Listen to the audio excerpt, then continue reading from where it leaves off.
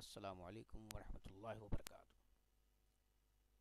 Professor Syed Asad Ali, आज lecture number six के साथ आपकी खिदमत में हाज़िर हूँ। आज हम बात करेंगे चैप्टर नंबर एट का सेकंड लास्ट टॉपिक है प्रोग्रामिंग लैंग्वेजेस प्रोग्रामिंग लैंग्वेजेस क्या हैं? इसकी कैटेगरीज क्या हैं? हमारे पास कौन कौन सी प्रोग्रामिंग लैंग्वेज अवेलेबल है? इस पर हम डिटेल डिस्कशन करेंगे। चलें, बिस्मिल्लाह करते हैं। आज का हमारा टॉपिक प्रोग्रामिंग लैंग्वेजेस प्रोग्राम के बारे में हमने पढ़ा क्या होता है कि ये सेट ऑफ़ इंस्ट्रक्शंस होती हैं जो हम कंप्यूटर को देते हैं, जो कोई ना कोई टास्क परफॉर्म करेगा अकॉर्डिंगली इंस्ट्रक्शंस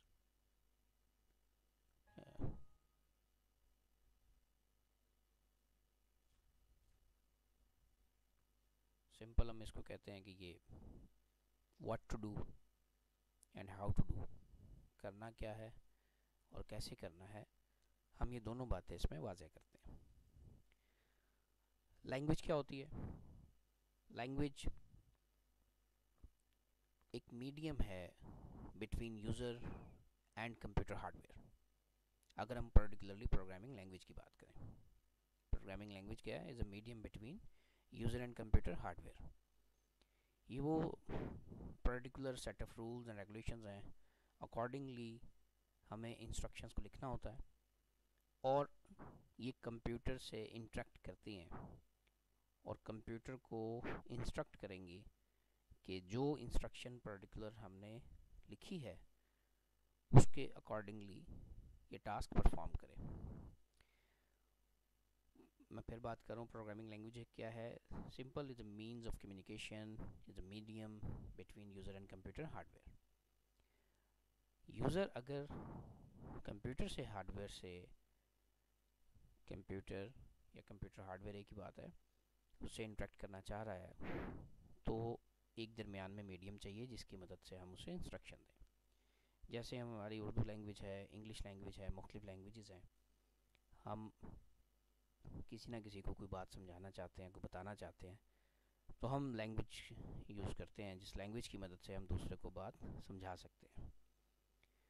इसी तरह से प्रोग्रामिंग लैंग्वेजेस हैं, जो कोई भी इंस्ट्रक्शन देना चाहे कंप्यूटर को with the help of these programming languages accordingly the set of rules and regulations language के रूल्स कवायद जवाबित को फॉलो करना पड़ेगा, उसके मुताबिक कोड लिखना पड़ेगा। और जब आप सारी इंस्ट्रक्शंस लिख देंगे तो कंप्यूटर उसी के मुताबिक फिर टास्क परफॉर्म करेगा। अब हमारे पास इसमें मुख्तलिफ़ जो मेन कैटेगरीज जो प्रोग्रामिंग लैंग्वेजेस की हैं, वो हमारे पास दो हैं। एक को हम कहते हैं लो लेवल प्रोग्रामिंग लैंग्वेजेस और एक को कहते हैं हाई लेवल प्रोग्रामिंग लैंग्वेजेस इसमें सबसे पहले बात करते हैं लो लेवल प्रोग्रामिंग लैंग्वेज की। लो लेवल प्रोग्रामिंग लैंग्वेज क्या है? ये आप याद रखिएगा। सिंपल याद रखें। The language that is close to the computer machine and far from to the user क्या है?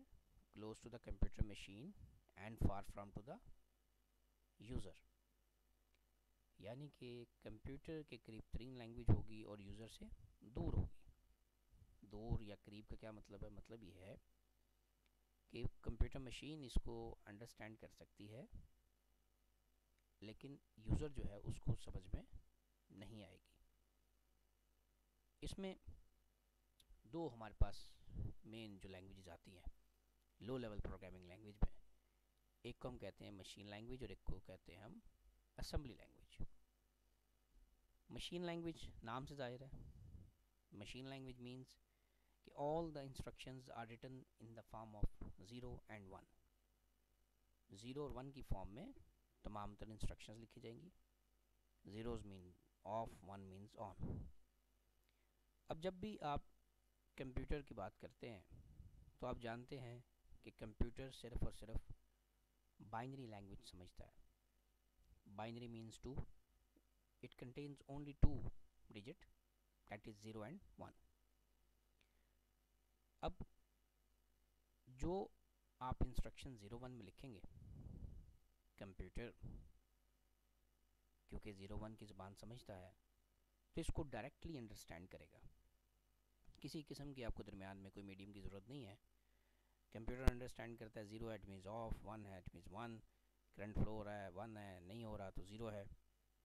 इसीलिए कहते हैं it is fast in execution और इसको हम फ़र्स्ट जनरेशन लैंग्वेज भी कहते हैं। फास्ट इन एग्जीक्यूशन से क्या मुराद है?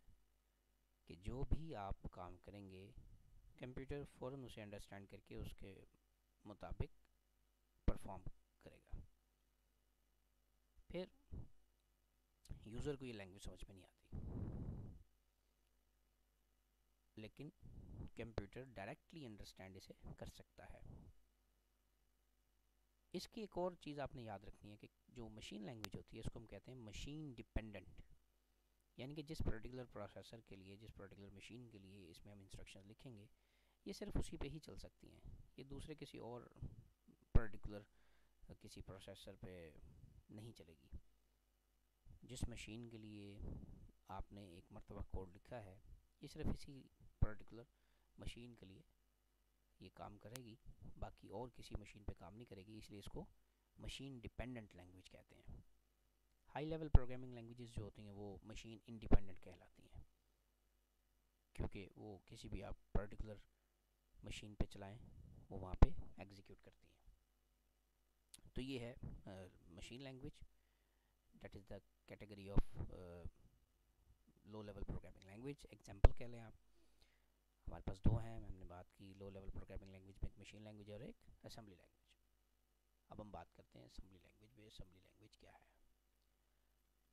असेंबली लैंग्वेज में जो हमारे पास पर्टिकुलर एक जनरल सी आप डेफिनेशन याद रखें कि assembly language is one step higher than to the machine language one step higher से क्या मुराद है? इसमें हम स्पेशल वर्ड्स सिंबल्स यूज़ करते हैं। Instead of zero and one यानी कि special symbols words are use instead of zero and one that is called mnemonic उनको हम क्या कहते हैं? नमैनिक कोड कहते हैं। जैसे एडिशन के लिए ऐड है सब्ट्रैक्शन के लिए एस यू बी ये कैपिटल लेटर में होता है असेंबली लैंग्वेज की इंस्ट्रक्शंस हैं। आप जब आगे एडवांस स्टडीज़ में जाएँगे तो वहाँ पे असेंबली लैंग्वेज पढ़ेंगे। हमने यहाँ सिर्फ़ इसकी डेफिनेशन देखनी है और पर्टिकुलर ये है क्या? तो याद रखिएगा this language is one step higher than to the machine and special words symbols are used in this language that is called mnemonic इसको हम सेकेंड जनरेशन लैंग्वेज भी कहते हैं। नॉर्मली प्रोग्रामिंग जो है लो लेवल में वो असम्बली लैंग्वेज में की जाती है। क्योंकि machine language very difficult work and therefore ज़्यादा उसमें प्रोग्रामर अवेलेबल नहीं होते। मशीन लैंग मशीन लैंग्वेज जो है, उसके बजाय मोस्टली जो टास्क परफॉर्म करते हैं, काम करते हैं, वो हम असेंबली लैंग्वेज में करते हैं। जितनी भी रिफाइनमेंट होती है सॉफ्टवेयर की, वो सारी की सारी असम्बली लैंग्वेज में जाके की जाती है। और ये close to machine sorry close to computer hardware या कंप्यूटर मशीन ये लैंग्वेज है। ये तो थी हमारे पास लो लेवल प्रोग्रामिंग लैंग्वेज इसमें आखिरी बात जो आप याद रखेंगे वो ये कि मशीन लैंग्वेज में तो कोई लैंग्वेज ट्रांसलेटर यूज़ नहीं होता।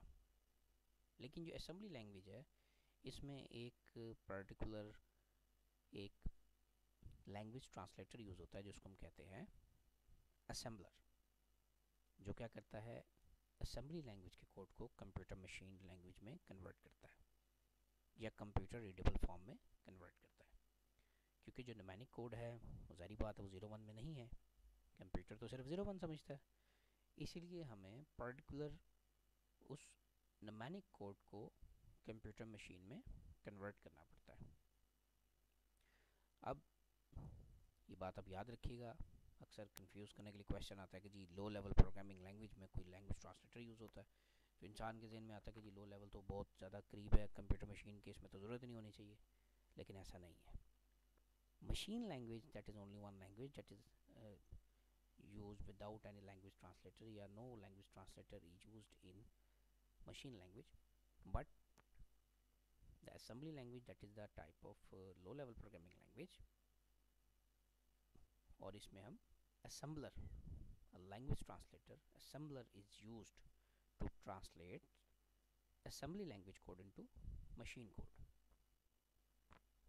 ठीक है लो लेवल प्रोग्रामिंग लैंग्वेज में हमारे पास कौन सा है? असम्बलर एक लैंग्वेज ट्रांसलेटर है, जो कि असम्बली लैंग्वेज के कोड को मशीन कोड में कन्वर्ट करने के लिए हम यूज़ करते हैं। तो ये हमारे पास थी लो लेवल प्रोग्रामिंग लैंग्वेजेस में दो टाइप एक है मशीन लैंग्वेज और एक है पर्टिकुलर जिसको हम कहते हैं लो लेवल में असम्बली लैंग्वेज नेक्स्ट चलते, हमारे पास हाई लेवल प्रोग्रामिंग लैंग्वेज है। हाई लेवल प्रोग्रामिंग लैंग्वेज क्या होती है? That is close to the computer user and far from to the computer machine अब ये यूज़र के करीब तरीन होगी और कंप्यूटर मशीन से दूर होगी।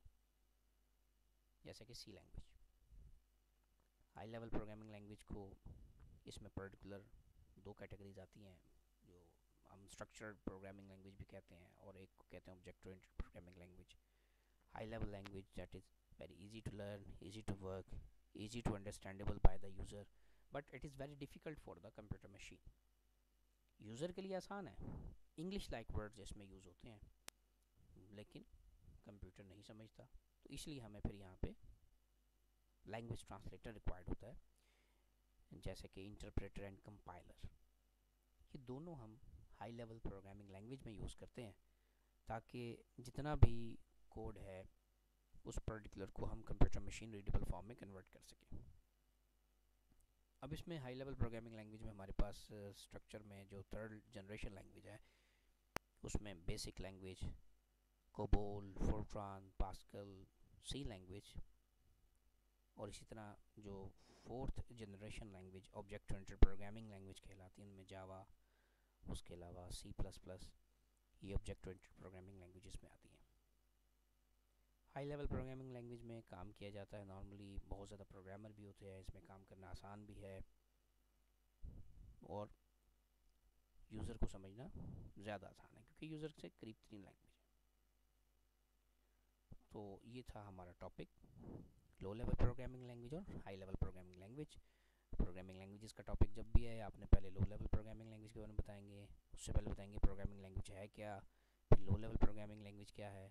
उसके भी दो टाइप्स आप बताएँगे, उसकी एग्जांपल के तौर पे एक मशीन लैंग्वेज और एक पर्टिकुलर असेंबली लैंग्वेज फिर उसके बाद आप लिखेंगे हाई लेवल प्रोग्रामिंग लैंग्वेज के बारे में। और लास्ट पे आप इसके डिफरेंस का टेबल भी बना सकते हैं कि it is very easy to learn and machine language या low level language difficult to work इसमें इंग्लिश लाइक वर्ड्स होते हैं, उसमें ज़ीरो वन में इंस्ट्रक्शन लिखी जाती हैं या फिर नमैनिक कोड यूज़ होते हैं। वहाँ सिर्फ़ असम्बलर यूज़ होता है असम्बली लैंग्वेज में पर्टिकुलर इसमें जो है कंपाइलर इंटरप्रेटर दो लैंग्वेज ट्रांसलेटर यूज़ होते हैं। ये मशीन इंडिपेंडेंट कहलाती है, जबकि जो मशीन लैंग्वेज या लो लेवल प्रोग्रामिंग लैंग्वेज उसमें जो मशीन लैंग्वेज है that is machine dependent language तो इसको रिवाइज़ कीजिएगा अच्छी तरह, इसको तैयार कीजिएगा। इसके बाद हमारा पर्टिकुलर लास्ट छोटा सा टॉपिक है, जिसे हम characteristics of high level programming language कहते हैं। जो हमने आज बात की है, वो भी उसमें शामिल हो जाएँगी तो हमारा चैप्टर जो है मुकम्मल हो जाएगा।